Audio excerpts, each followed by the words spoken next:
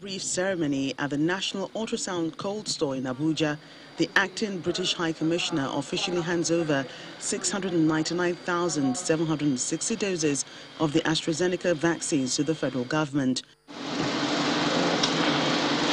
Addressing journalists after the ceremony, the British High Commissioner says the vaccines are part of the 80 million doses pledged by the British government to support COVID-19 eradication efforts in poorer countries.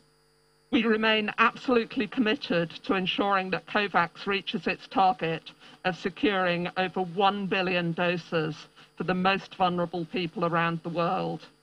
We do it because we want to be a force for good and because we need a global solution to a global pandemic. Over 2 million people who took the first jab of AstraZeneca in Nigeria are yet to receive their second dose. The government says these categories of people will be given priority. This vaccine will be deployed immediately to the states and will be administered as soon as the second dose to those who had earlier received only their first dose of the vaccine during the first phase of nation rollout. I therefore enjoin all those who have received AstraZeneca as first dose to visit the nearest vaccination site to receive the second dose to be assured of full protection.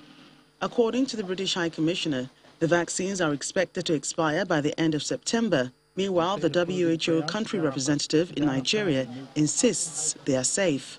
The vaccine is valid through until the end of September.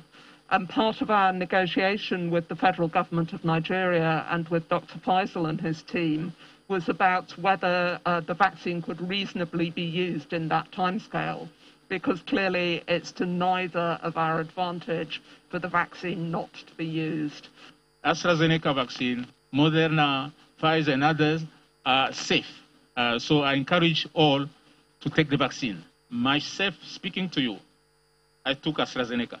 Nigeria flagged off the second phase of the COVID-19 vaccination on Monday with high expectation from the government that more people will get vaccinated against the deadly virus.